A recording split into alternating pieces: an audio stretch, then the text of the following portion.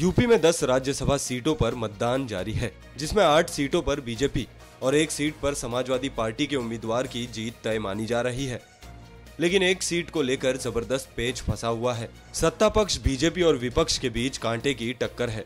ऐसे में दोनों एक दूसरे की विधायकों में सेंध मारने की कोशिश कर रहे हैं। समाजवादी पार्टी ने बीएसपी के उम्मीदवार को जिताने की ज़िम्मेदारी शिवपाल यादव को सौंप रखी है। तो बीजेपी की तरफ़ से अमित शाह ने कमान संभाल रखी है। बीएसपी के अनिल सिंह ने क्रॉस वोटिंग कर बीजेपी को वोट दिया है। अनिल सिंह ने कहा कि उन्होंने अपनी अंतरात्मा की आवाज़ सुनकर बीजेपी को वोट दिया है। तो वही शिवपाल यादव ने दावा किया कि दसवीं सीट उनके खाते में ही आएगी।